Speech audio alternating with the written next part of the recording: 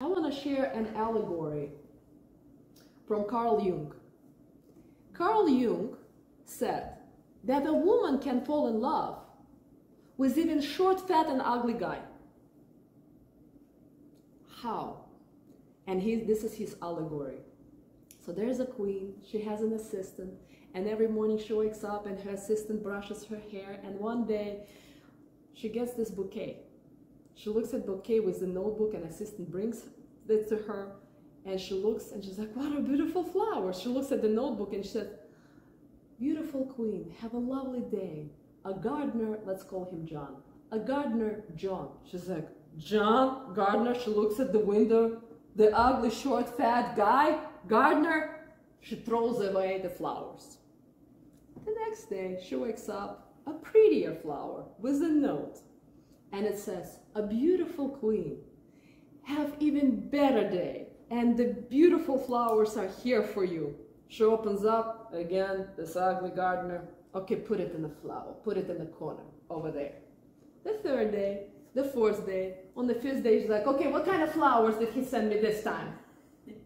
A month later, she wakes up, asks assistant, so, where's my flowers? What kind of flowers did John send me?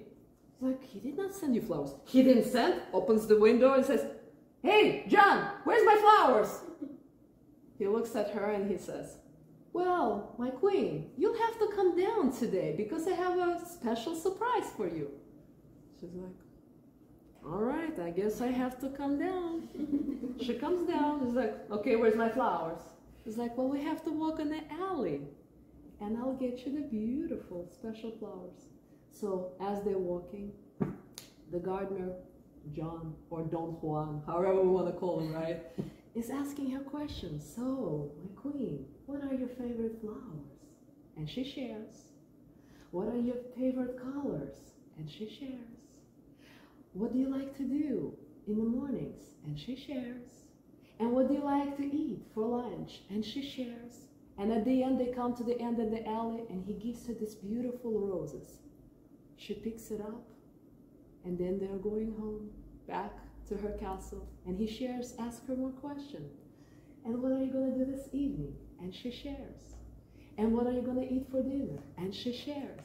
And when, what is, what is your favorite horse? And what is your horse's name? And she shares. And the next morning, she looks at their assistant and she says, you know what? Today, I'm just going to go downstairs and walk in the alley with Gardener John. And two months later, she says, you know what, to assistant? I am not interested to meet any guys anymore because who will get me as well as a John Gardner? Do you guys get it? And John did not even talk to her. What was John doing? Asking questions and listening to her. Do you guys get it? Even John Gardner could make a queen fall in love with him, which says any guy has a chance to make any woman fall in love if he can just ask questions and listen. And by the way, that's the biggest mistake that women, uh, what that guys make. When they go on the first date, what do they do? Yes. Yes. And do women like that? No. No. I'll tell you actually examples. So nine or 10 years ago, I can't remember exactly, um, I had a really wealthy millionaire from Russia who called me. He was a referral, but it doesn't matter. He calls me and he says, Alisa, I was uh, on a date with a model two weeks ago. I gave her my number. We had a great dinner and she did not call me. Well, he was 59, she was 28, but it never stops Russian models to date a 30 or 40 year old man because he's almost an oligarch, multimillionaire. So he's like, I'm so smart, I'm so successful, why she's not calling me? I said, okay, okay, slow down, slow down. Can you share with me what actually happened on the date? step by step.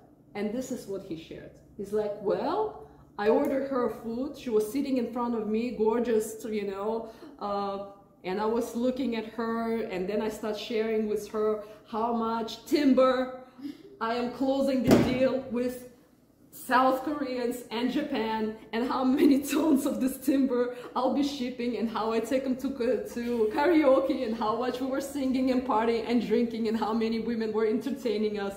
I was telling her all about my amazing rich life. And then I was like, oh my God, that's a problem.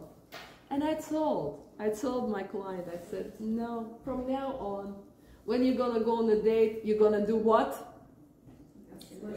Ask questions and what? Listen. Listening. Because when a guy goes on a date and talks a lot, a girl comes home and you know what she thinks? What an idiot. because she really wanted to talk about herself. If she's not connected to timber and how he gonna ship this timber, she's not interested. Do you guys get it? uh, any questions?